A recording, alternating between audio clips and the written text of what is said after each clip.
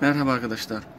Bu videomda e, şebeke basıncıyla çalışan 5 filtreli soğutma cihazının 1 litre suya e, karşı ne kadar at, e, giderimize su attığını testini yapacağız birlikte.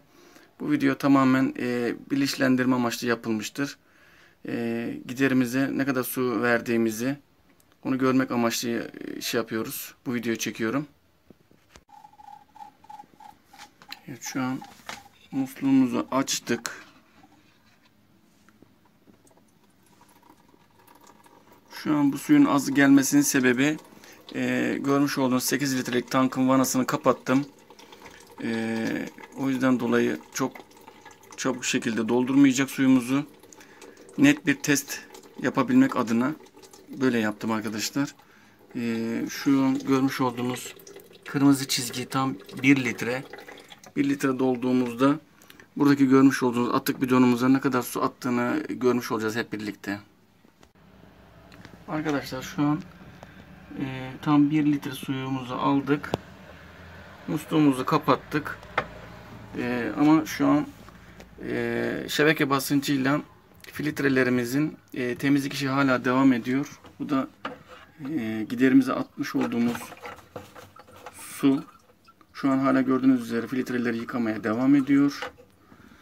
E, suyumuz hemen hemen bu görmüş olduğunuz 5 litrelik bidon yarıya kadar geldi. Hala şu an e, filtre temizliğine devam ediyor. E, bittiği zaman tekrar devam edeceğiz videomuza.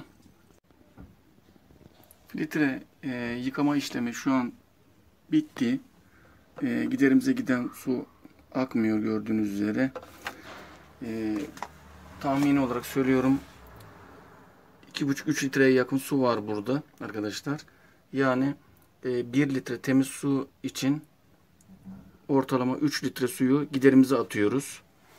E, bu suyu ziyan etmeyelim arkadaşlar.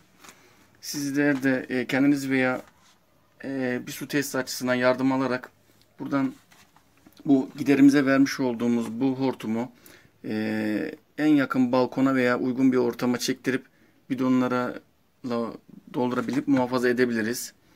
Balkon yıkamada, tuvalet, banyo yıkama vesaire gibi yerlerde kullanarak ziyan etmeyebiliriz arkadaşlar. E, su hayattır. Bu video videomun başında söylediğim gibi tamamen bilinçlendirme e, için yapılmıştır. Herhangi bir ticari amaç vesaire güdülmemektedir. İsraf etmeyelim arkadaşlar. E, şimdiden iyi günler diliyorum size.